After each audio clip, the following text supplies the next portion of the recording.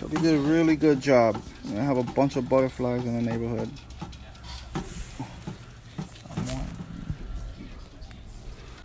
He got crickets. And I have more butterflies. Look at this. hermit crabs.